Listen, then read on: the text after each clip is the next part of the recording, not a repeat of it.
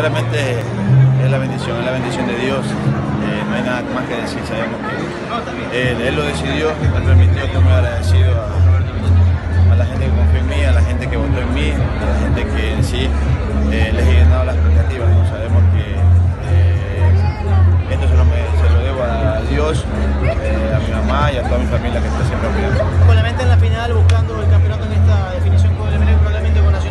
Bueno, sí, sinceramente sí, sabemos que tenemos ya una final.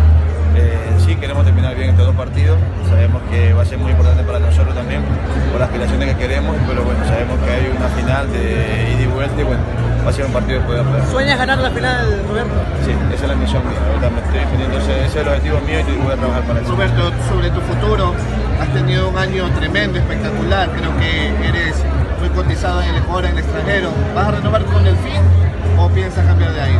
Bueno, sinceramente me debo ahora, estoy pensando en el Delfín, como te digo, como recalco, vuelvo y recalco, eh, quiero salir campeón con el Delfín, me debo al Delfín, eh, tengo un año más de contrato y bueno, eh, mi, mi, mi, mente, mi cabeza está ahorita pensando en lo del Delfín, quiero salir campeón y bueno, voy a trabajar para eso.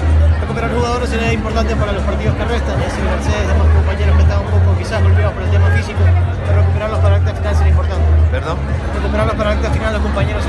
Bueno, sinceramente sí, estamos pensando un poco también un poco por todos los resultados que se vienen dando en contra para nosotros, pero bueno, vamos a levantar, vamos a levantar, sabemos que tenemos fe en Dios, que las cosas van a mejorar y bueno, esperemos que sea este fin de semana.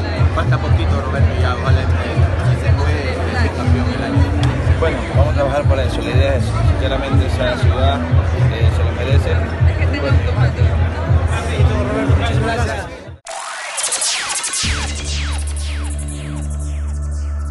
Gol Ecuador.